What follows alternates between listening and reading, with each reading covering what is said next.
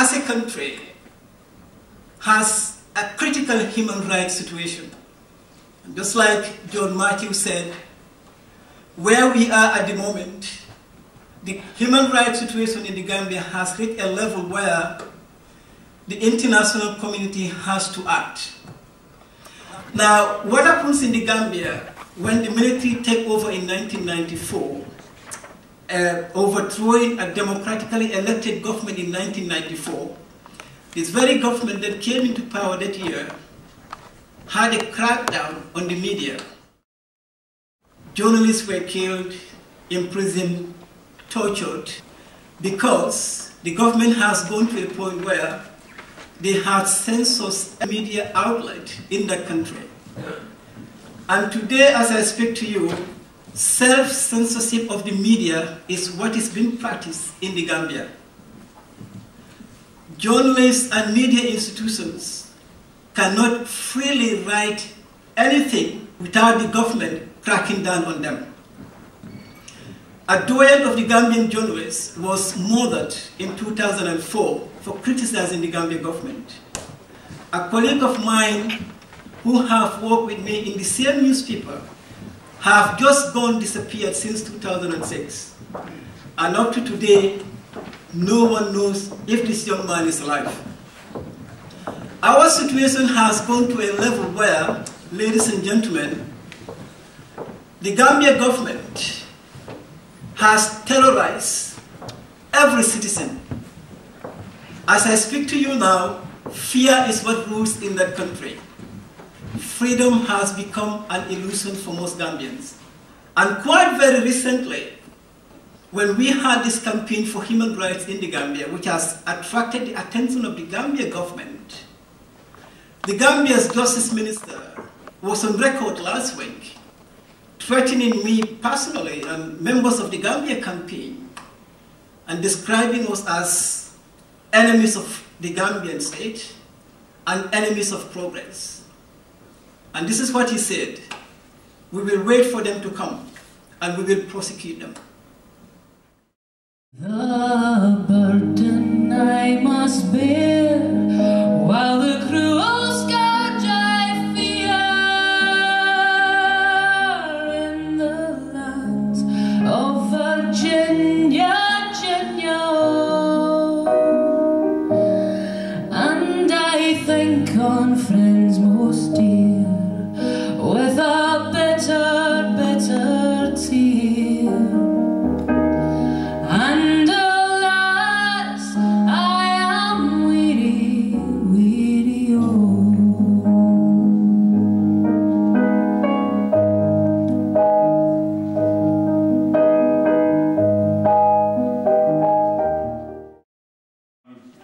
The NUJ, obviously, as a union for journalists and media workers, um, supports freedom of speech.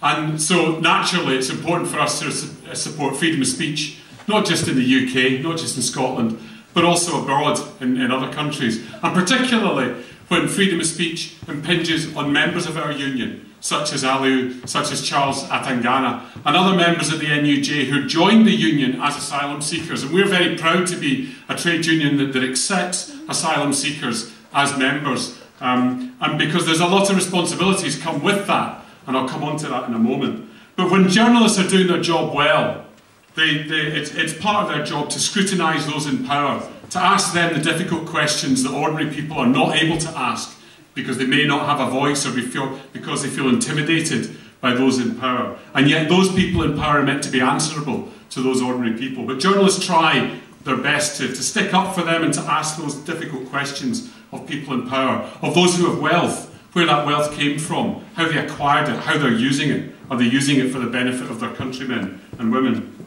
And to, to scrutinise abuse where it happens, unjust imprisonment, unjust systems of, uh, of, of courts and police, and to examine corruption and to expose corruption wherever it happens. Now, when people do that, and then they in turn are subject to abuse and to detention and to torture and to imprisonment without trial and in some cases to execution without trial. It's our job as journalists, just as it's the job of all of us as citizens, to stick up for those people and to, to express their, um, to express our condemnation of what's going on.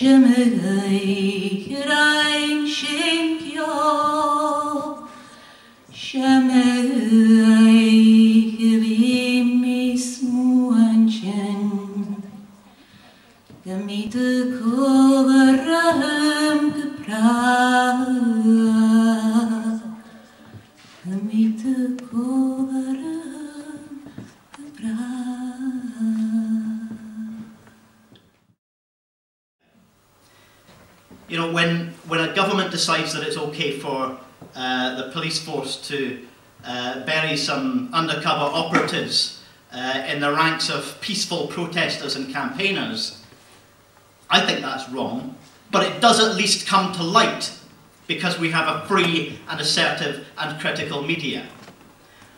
When marginalised groups are further marginalised and stigmatised, whether on grounds of race or religion or sexuality, whether on grounds of their ethnic origin, their country of origin, or their asylum status, their immigration status, when people like that are further marginalised, it is at least possible in this country for challenge to be brought to that, whether by campaigners working on the ground to support individuals and families, or by the media.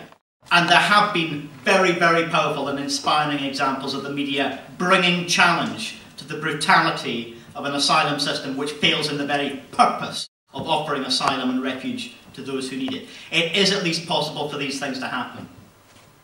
And so it's inspiring and emotionally meaningful for me to be living not just in a country where people can come together in a room like this for a campaign like this, not just to be living in a country where the media, for all some of their imperfections sometimes, are free, assertive, and challenging when they feel they need to be and don't get locked up for it, but also to be in a country where their union representation come together to recognise the connections between their work and the work of others struggling for a free, independent and critically challenging media in other parts of the world and the impact that has on human liberty, human freedom and human dignity.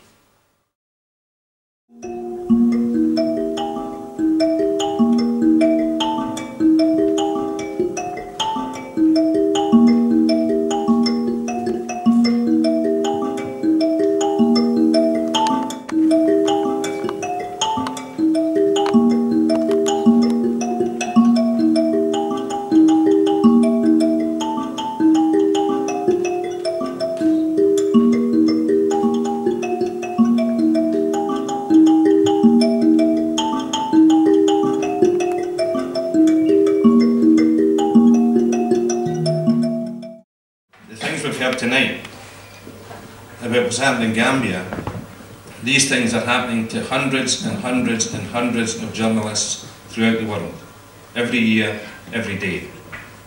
And the National Union of Journalists is committed to fighting for their right to work, for their right to give you information, and also for their right to be protected.